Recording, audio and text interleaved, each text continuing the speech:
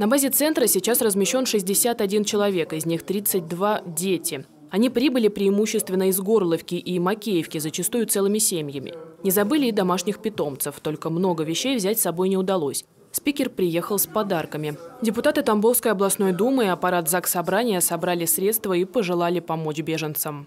Я сам родился на Донбассе, в Славянске. Да, паспорт, могу паспорт показать. Правда, родители здесь, в Тамбовской области. Мама была на практике, отец к ней приехал, там женились.